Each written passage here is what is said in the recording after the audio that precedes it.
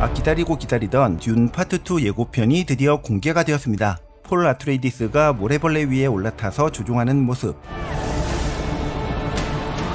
스파이스를 오래 섭취해서 파란 이바드의 눈을 가진 냉혹한 전사로 변해버린 모습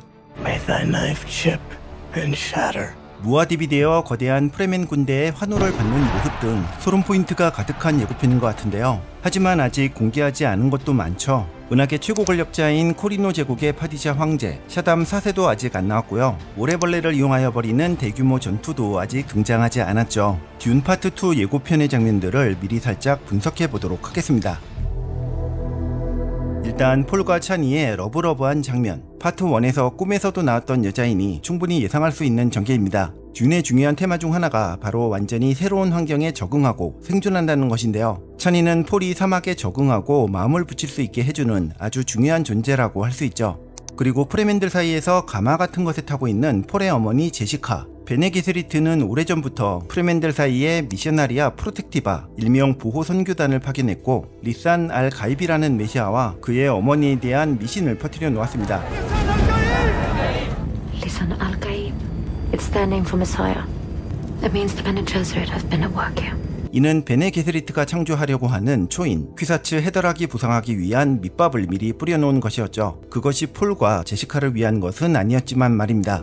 제시카는 이렇게 프레맨들이 가진 미신과 자신의 베네 게세리트 능력을 이용해서 프레맨들의 영적인 어머니 대모로 부상하게 되죠. 그래서 제시카가 프레맨들 사이에서 장중한 종교 지도자의 복식을 한 것을 볼 수 있습니다. 프레맨 종교인들의 복식은 색깔은 다르기는 하지만 베네게세리트의 의상과 상당히 닮아 보이는데요. 어쩌면 이 역시 베네게세리트가 프레맨 사이에 뿌려둔 종교와 문화의 흔적일 수도 있습니다. 폴의 엄마이기는 하지만 파트 1에서 이미 암시되었듯이 둘의 사이가 마냥 좋지만은 않습니다. You Bene Gesserit made me a freak! 예고편에서도 둘은 노선 갈등을 벌이는 모습을 보여주고 있죠. Your father didn't believe in revenge. We gave them something to hope for. That's not hope! 베네게세리트가 심어준 미신을 제시카는 희망이라고 말하고 있지만 폴은 이를 강력하게 부정하고 있습니다. 이는 폴이 파트 1에서 사막의 스파이스를 마시고 환영을 보았기 때문인데요. 이 환영에서 그는 자신이 이끄는 광신적인 프레맨 군대가 대규모 성전, 지하드를 일으켜서 우주에 재앙을 가져오는 것을 보았기 때문이죠.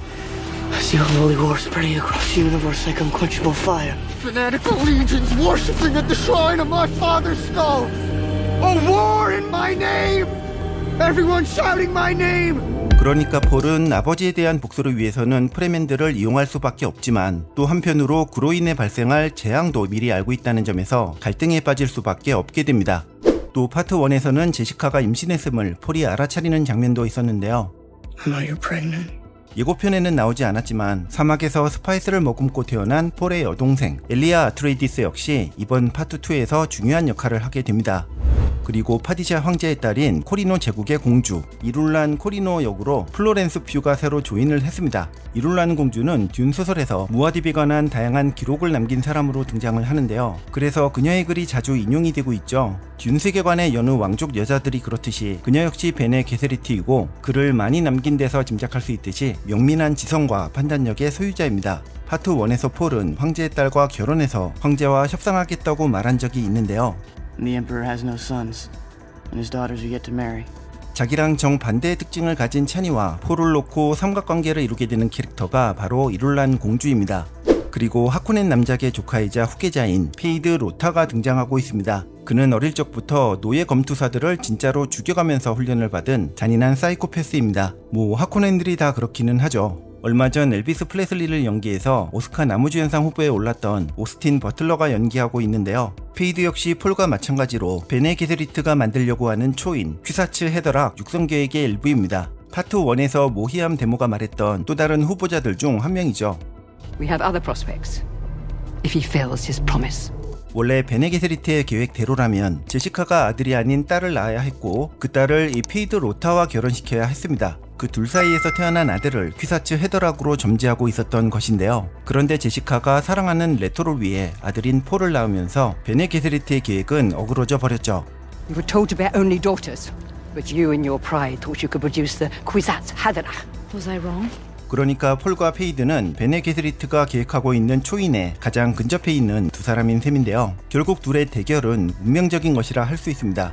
그리고 하코넨 남작과 그의 조카 라반도 다시 나오고 있습니다. 하코넨이 프레멘을 신문하고 있는 장면도 나오고 있는데요. 이는 프레멘 사이에서 떠오르는 새로운 반란 지도자 무아딥을 찾아내려는 것일 겁니다. 무아딥은 프레멘어로 사막 생쥐를 가리키는 말입니다. 파트 1에서 폴은 사막에서도 살아남는 조그만 사막 생쥐를 아주 인상 깊게 보았는데요. 그래서 자신의 프레멘 이름으로 무아딥을 선택했습니다. 1편에서 사라져버린 아트레이디스 가문의 노장 거니 할렉도 다시 나오고 있습니다. 프레멘의 지도자인 스틸가도 다시 등장하죠. 인간 컴퓨터인 투피르 하와트는 이번 예고편에서 등장하지 않았지만 아마 원작처럼 역시 살아서 등장할 것 같습니다. 모히암 대모도 물론 다시 나올 것입니다. 파트 1에서 죽은 덩컨 아이다호는 이번에는 등장하지 않습니다. 하지만 이번에 흥행이 잘 돼서 파트 3, 즉 소설 2권도 영화화하게 되면 복제인간 골라로 다시 등장하게 될 것입니다. 프랑스 배우 레아 세이두가 마고 펜링 역으로 새로 등장하고 있습니다. 그녀는 코리노 황제의 가장 커다란 신임을 받는 하시미르 펜링 백작의 아내로 역시 베네 게세리트입니다. 그녀는 아트레이디스 가문이 아라키스에 오기 전에 아라킨의 궁전에서 황제의 대리인으로 남편과 함께 거주한 적이 있습니다. 소설에서는 마고가 떠나면서 제시카에게 비밀 메모를 남겨서 하코넨의 암살 기도를 경고하기도 했습니다. 또 마고는 하코넨의 행성 기에디 프라임을 방문해서 페이드 로타가 검투사 경기를 하는 것을 지켜보게 되는데요. 이는 황제의 명으로 페이드가 하코넨의 후계자로 적합한 지 살펴보려는 목적도 있지만 또한 베네 게세리트로서 그의 퀴사츠 헤더락의 잠재력을 가늠해보기 위해서이기도 했습니다. 베네 게세리트가 막후에서 어떤 식으로 영향력을 행사하고 있는지 잘 보여주는 캐릭터라고 할 수 있죠.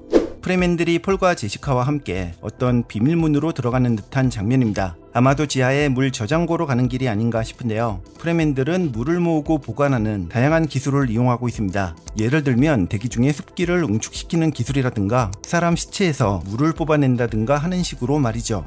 누군가 어떤 액체가 든 약병을 들고 있는데요. 옷차림을 봐서는 베네 게세리트 같지만 배경은 또 프레멘의 동굴 같기도 합니다. 어디인지는 분명치 않지만 이 액체는 모래벌레의 유충에서 뽑아낸 생명의 물이 확실해 보입니다. 스파이스보다 훨씬 강력한 각성 효과를 가진 이 물은 보통 사람이 마시면 죽습니다. 특히 남자는 이걸 마시고 살아남은 사람이 한 명도 없습니다. 하지만 영적으로 훈련이 된 사람이 이를 마시고 그 독성을 중화시키는 데 성공해서 죽지 않았을 경우에는 어마어마한 영적인 각성을 하게 됩니다. 그리고 이번 예고편의 하이라이트인 모래벌레를 타는 장면이 나옵니다. 과거에 나왔던 듄 영상물과는 달리 이번에는 벌레 주변의 모래가 출렁이며 꺼지는 모습도 리얼하게 묘사하면서 모래벌레에 올라타는 게 얼마나 위험한 일인지 훨씬 실감나게 연출이 되었습니다. 이렇게 갈고리로 모래벌레의 피부에 자극을 주면 벌레는 그쪽의 모래에 닿지 않게 몸을 틀게 되고 사람은 벌레의 꼭대기에 오르게 됩니다. 모래벌레에 올라탄 폴을 보며 환호하는 프레맨들의 모습 또 무아디백에 환호하는 거대한 프레맨 군대의 함성 운명은 그를 리산 알 가입의 길로 이끌고 있지만 폴은 자신이 일으키는 거대한 폭풍 앞에서 여전히 갈등하고 있는 중입니다. We gave them something to hope for. 원작에 나온 장면들이 완벽하게 형성화가 된 소름 돋는 예고편이 아니었나 싶은데요.